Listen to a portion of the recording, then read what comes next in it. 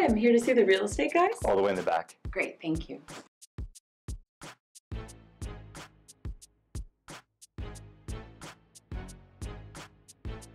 Hi, how have you been? Good. You know, I'm a bit of a spark plug, so business has been very good. What can I help you with? I wanted to see if you had any upcoming inventory with a 5 to 6% cap rate. Cash rate? Cap rate. Sure, I have a bunch of homes coming up with a 5% cash rate. No, no, no, cap rate. Are you saying crash or cash? Steve, what the heck are you doing back there? Hello, Ms. Redhead. No, it's just red. Are you saying bread? The B is silent. That, that makes sense. Whatever, bread. So, Brett, what she's trying to say is her clients would like to cap the amount of cash that the tenants give to them, and anything above 5%, they would just give right back.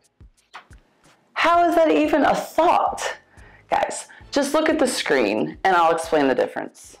Cap rate, oftentimes confused with cash on cash return. In short, the cap rate is net operating income divided by property value. With real estate, cap rate is calculated by dividing the net operating income, NOI, which is all income minus all expenses, and then dividing that number by the property value.